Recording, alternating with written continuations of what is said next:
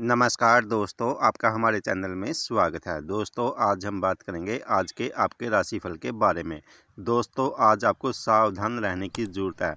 आज आपको किन किन परेशानियों और मुसीबतों का सामना करना पड़ सकता है और इन मुसीबतों से बचने के लिए कौन सा उपाय करना है आपको, आज हम इस वीडियो में आपको बताएँगे। जाने आज आपका राशिफल कैसा रहेगा। दोस्तों, आज के दिन फिर से व्यावसायिक उलझने बढ़ने के कारण नई परेशानी खड़ी होंगी। हाथ आय अनुबंध निरस्त हो सकते हैं। सहकर्मियों के साथ भी तकरार होने की संभावना है। आज आपका क्रोध अकस्मात ही किसी के ऊपर निकल सकता है। व्यवहार में नरमी बढ़ते काम निकालने के लिए किसी की झूठी भी करनी पड़ सकती है तो करे आज। आज लाभ पाने के लिए हथकंडे अपनाने ही पड़ेंगे। किसी महिला अथवा पुरुष के प्रति ज़रूर से ज़्यादा मोह मानसिक रूप से दुखी करेगा। घर का वातावरण भी अस्त व्यस्त रहेगा। कोई भी आपकी बात को महत्व नहीं देगा आज। दोस्तों, आज आप दिन भर कार्य क्षेत्र पर व्यस्त रहेंगे। व्यवसाय संबंधी वादे पूरे करने के लिए कठोर परिश्रम करना पड़ेगा। इसका उचित फल भी धन लाभ के रूप में यथाशीघ्र मिल जाएगा। विरोधी बनते कामों में अड़ंगा डालेंगे। इसकी परवाह नहीं करें।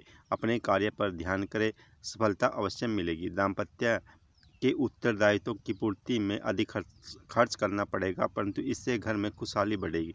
दोपहर के बाद से धन की आवक आरंभ हो जाएगी, जो कि संध्या तक रुक रुक कर चलती रहेगी। मनोरंजन के अवसर भी हाथ से नहीं जाने देंगे। आज आप, दोस्तों, आज का दिन आपके लिए मिश्रित फलदायी भी रहने वाला है। कार्य क्षेत्र पर प्रतिस्पर्धा के चलते अधिक मशक्क़त करनी पड़ेगी। फिर भी लाभ आशा से कम ही रहेगा।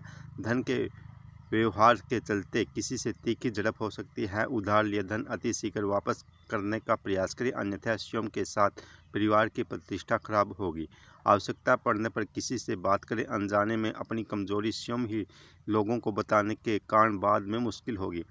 दोस्तों, संतानें आज परीक्षा में आशा के अनुरूप प्रदर्शन नहीं कर पाएँगी। दोस्तों, आज आपके लिए शुभ दिशा रहेगी दक्षिण, शुभ अंक रहेगा पाँच और शुभ रंग रहेगा सफ़ेद रंग। दोस्तों, आज आपके लिए शुभ समय रहेगा प्रातः सात बजकर पच्चीस मिनट से दोपहर के दो बजकर दस मिनट तक का समय आज आपके लिए शुभ रहने वाला है और अशुभ समय रहेगा शाम के चार बजकर पच्चीस मिनट से शाम के सात बजकर अड़तीस मिनट तक का समय आज आपके लिए अशुभ रहने वाला है। इस समय में कोई भी शुभ काम न करे। दोस्तों, आज आपको कौन सा उपाय करना है? दोस्तों, आज को आपको हनुमान जी के मंदिर में जाना है और वहाँ पर हनुमान चालीसा का पाठ करना है। तो आपके सभी काम बनते जाएँगे। धन्यवाद।